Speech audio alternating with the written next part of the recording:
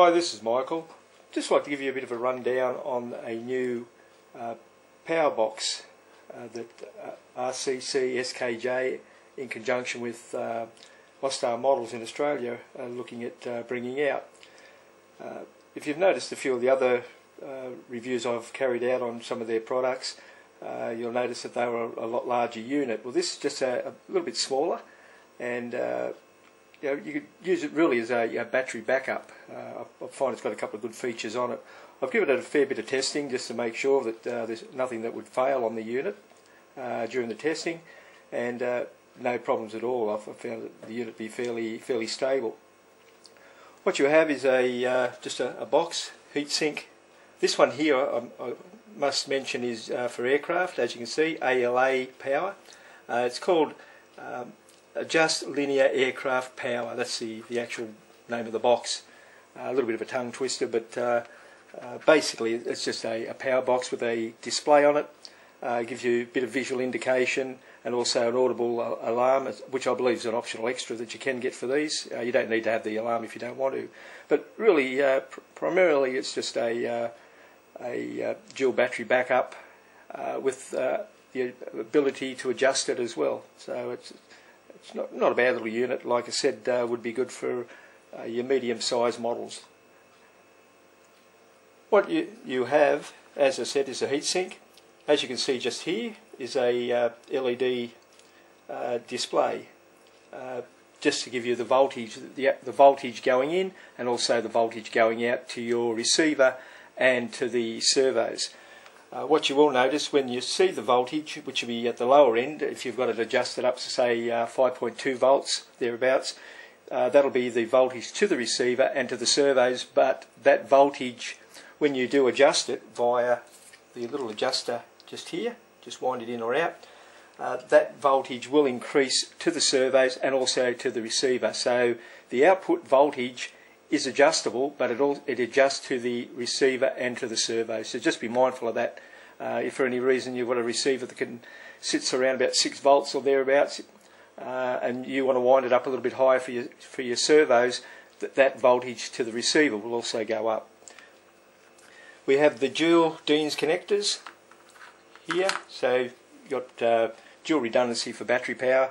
My suggestion would be to use uh, LiFe's, uh, say 6.6 volt, uh, LiPos uh, 7.4, and maybe even uh, take it up to um, three cell li uh, LiFe's up to about uh, 9.6, 9.8 volts as well. I don't see any need to go anything high, anywhere higher than that. You can see a little plug just here. That there is the optional alarm and also uh, flashing uh, LED that uh, you can uh, purchase for the unit as well. Uh, part of the display or the purposes of the uh, review, I'll just I'll leave that on as well. As I said, you have your Dean's connectors, dual battery backup, and a switch which comes with the unit. This switch is for turning the unit on and off, and when you remove the switch by unplugging it, pulling it directly out, or if it was to fail during uh, flight or operation, the unit goes into a fail-safe and then um, basically uh, keeps keeps going. So you don't have to worry about it having a switch failure. Same with the the batteries. Uh, one battery fails, the other one takes over almost instantly. So there's there's no uh, worry about redundancy in the, in uh, that situation. On the back, it's very hard to, to pick up but just here you'll see a little bit of an indent and that there is a little button that you can push down and that button actually adjusts the minimum voltage that you would like the unit to be set to. So uh, for example you would like to have the unit uh, give you an alarm at uh, say six and a half volts or depending on what voltage you, you want to run at say six six and a half volts you can actually hold that down and while pressing it looking at the display you can then set your minimum alarm voltage. So uh, once vo that um, voltage reaches that point, the alarm will go off, go off and give you visual if you're using one of these, and also audible um, alarm. So not a bad little feature. Running on this section, you'll have eight ports along here, or um, connections. Uh, they've got the little uh, Futaba uh, tab in there, so you, you can't really uh, mix up which way you're going to put your uh, your servo leads in. What you have is the four one two three four connect to the receiver. The remainder one two three four they connect to your um, servos. Uh, so you've you've got functionality there for um, four outputs on your on your receiver and operation of uh, say up to eight servos if you were to use a Y lead. What I'll do now, I'll just go through a, little bit of a run through on how to set it up and just give you a, bit of a uh, display on uh, uh, what you need to do just to get the unit to activate. First thing I always like to do is to make sure my voltage is correct. So I just use a standard voltmeter, plug into number one which is the receiver uh, output put on the batteries. I'm just using uh, two cell lipos, uh, LiFe's in this uh, situation. So we'll, we should get a voltage show up of around about uh, six and a half, maybe 6.7 volts all up. Plug in our batteries. Switch has been left turned on, but that's okay for the purposes of this. And I'll also connect up the uh, alarm as well, just so that we can have a little bit of indication as well. As you can see, what we have there now is the voltage from the batteries. Is running at 6.6, 6.7 volts. And from the uh, the output voltage as you can see these little LEDs here swap over as well to let you know which is which. Top one is for the uh, output. The bottom one here is for the input we have 6.6, 6.7 and the receiver voltage and to the servos is 5.25 volts. Now if we wanted to we can adjust that voltage if need be just by putting a little screwdriver in and adjusting it down and adjusting it up. Just as you adjust it up you check to make sure that you are on the right uh, right voltage uh, setting. You know, whether you're adjusting it at, actually at the the output voltage. So just be mindful of that when you do adjust it. Like I said, pretty straightforward to uh, to uh, set up. I, I, always like to just check to make sure that anything going to my receiver before I connect it in is going to be correct. So first thing now would be to turn the unit off, disconnect your battery charger. We know a battery monitor. We all know that everything's all okay. Connect in the receiver. What we do need to make sure of is that we have our leads, uh, com complete lead for say number one port on your receiver or out, uh, output on the receiver. We plug into here for number one and that'll also give us power to the receiver at that point.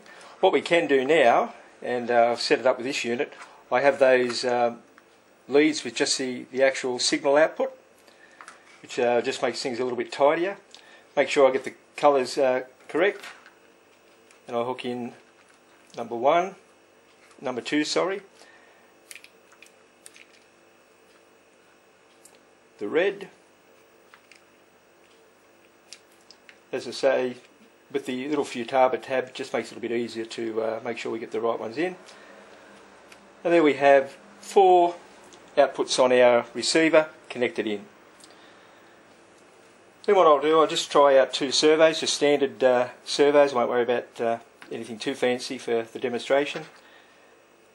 And then we just connect them in one,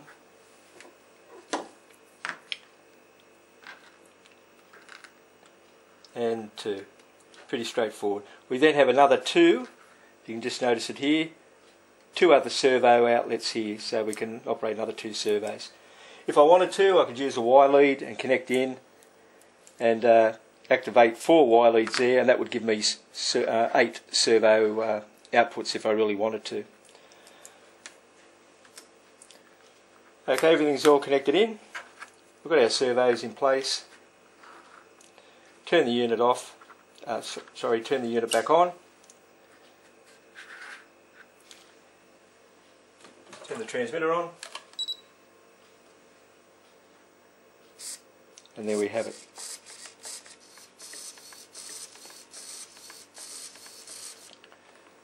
So what, we, what we've actually guaranteed there now is we're going, we will have 6 point, sorry, 5.2 volts to the actual uh, servos, but we're also uh, assisting the, the whole unit. Instead of drawing continuous current and voltage off the receiver itself and putting it under a little bit of load, especially if you were to run some multi servos and some uh, servos that uh, demand a little bit of uh, extra power, uh, this unit here will actually take care of that. So what it's what it's doing, it's uh, being supplied the signal from the receiver, but the actual voltage for handling this and current for handling the servos is looked after by this unit here.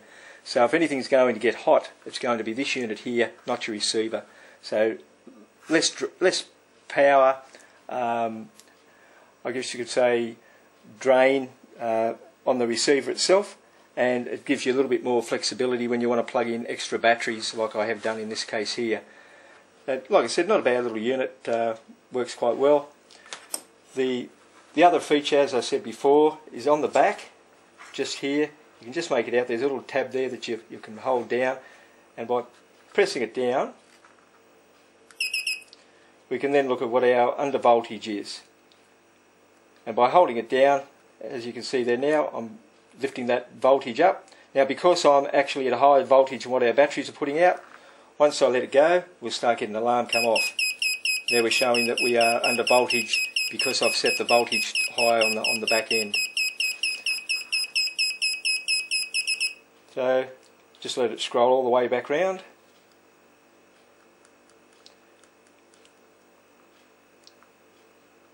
You can't go back, you've just got to keep going forward until you get past your uh, 12 volts. Once it goes past that, we start off again at 4 volts and we can work our way back up. And what I'll do now, I'll just set it, say, at um, 5.5, 5.6, 5.7 volts will do for this. And as you can see, everything's fine now. It's just giving us an alarm just to say that uh, it's gone back through the check and uh, the unit is now working. So battery voltage 6.6 volts from both the batteries and to the receiver and to the servos 5.25.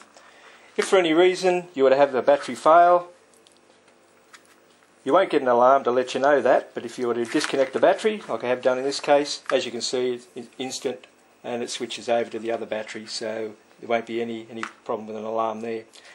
If your switch was to suffer a failure as well, say in this situation, due to vibration or whatever, the switch was to uh, become damaged. Pull it out, and as you can see, the unit is still working. Push the switch in, unit is still working. Turn the switch off, power down, and uh, our unit's turned off.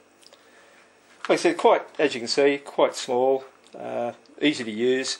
And what you can do, you can plug your main components, your main uh, flight functions, such as ailerons, uh, flaps if uh, need be, elevator, rudder, uh, any of those major items that you would uh, be using, even uh, retracts if you've got mechanical type retracts, you could plug into this unit, and then any of the other ancillaries like your um, say your throttle servo or anything, you could just run directly off your off your receiver.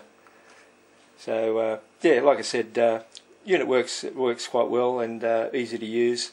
Um, and I think it would be fairly good for uh, just a standard uh, everyday model. Thank you.